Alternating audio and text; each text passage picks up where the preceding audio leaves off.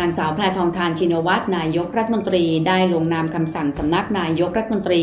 เรื่องแต่งตั้งคณะกรรมการนโยบาย โครงการกระตุ้นเศรษฐกิจ เพื่อเป็นการขับเคลื่อนนโยบายสำคัญในการกระตุ้นเศรษฐกิจ ตามที่นายกรัฐมนตรีได้ถแถลงนโยบายของคณะรัฐมนตรีต่อรัฐสภา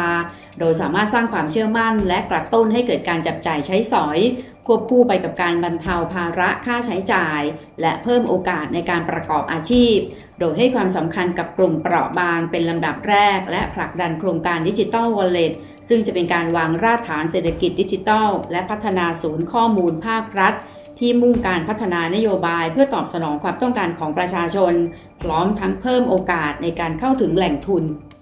ผลเอกประวิตยวงสุวรรณ สสบัญชีรายชื่อ และในฐานะหัวหน้าพักพลังประชารัฐ มีความห่วงใยในความเป็นอยู่ของพี่น้องประชาชน ได้ลงพื้นที่พร้อมทีมคณะผู้บริหารของพักไปพบปะกับประชาชน พร้อมทั้งติดตามสถานการณ์ ในพื้นที่ที่ประสบภัยน้ำท่วมจังหวัดหนองคาย โดยพลเอกประวิตยได้นำถุงยางชีพมากกว่า 3,000 ชุด แจกจ่ายให้กับพี่น้องประชาชนในชุมชนหนองบัว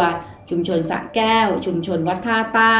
ในเขตเทศบาลเมือง เพื่อบรรเทาความเดือดร้อนในช่วงวิกฤต พร้อมทั้งกำชับให้สสในพื้นที่ ประสานกับหน่วยงานที่เกี่ยวข้องเข้าทำการช่วยเหลือพี่น้องประชาชนในด้านต่างๆ รวมทั้งให้นำข้อมูลมาเสนอต่อสภา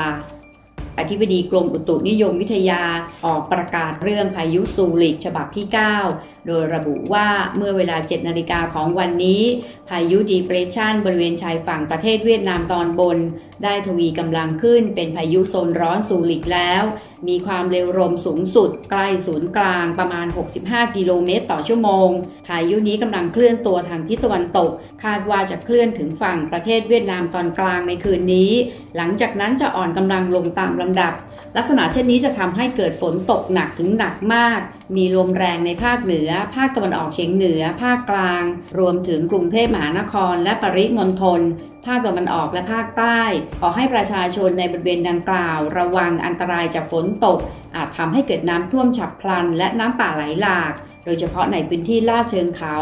ใกล้ทางน้ำฝนผ่านและพื้นที่ลุ่ม ยังคงความแรงต่อเนื่องสำหรับเจ้าหมูเด้ง ลูกฮิปโปแคระจากสวนสัตว์เขาเขียวจังหวัดชนบุรี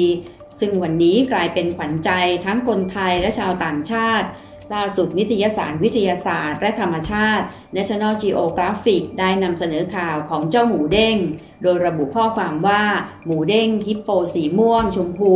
เกิดฤดูร้อนที่สวนสัตว์ในประเทศไทย มีชื่อว่าหมูเด้ง